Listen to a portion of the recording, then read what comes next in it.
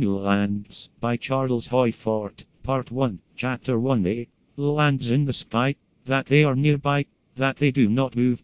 I take for a principle that all being is the infinitely serial, and that whatever has been will, with differences of particulars, be again. The last quarter of the 15th century land to the west. This first quarter of the 20th century we shall have revelations.